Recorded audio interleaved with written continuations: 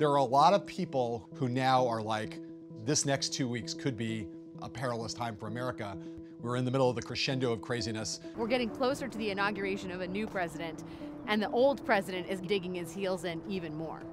It's really clear now that, that this isn't just a ruse for Trump. He believes he was robbed. He believes it was rigged. Also, it's not just Trump who's buying into this. It's the leading lights of the Republican Party in the Senate. This kind of paranoid fantasy is now infecting the corridors of power in Washington, D.C. Yeah, and there's what we see that Trump is doing to try to undermine the election, but imagine what's happening behind the scenes. It's pretty clear now that he's going to break every damn thing on his way out and leave as many shards of glass as possible for Joe Biden.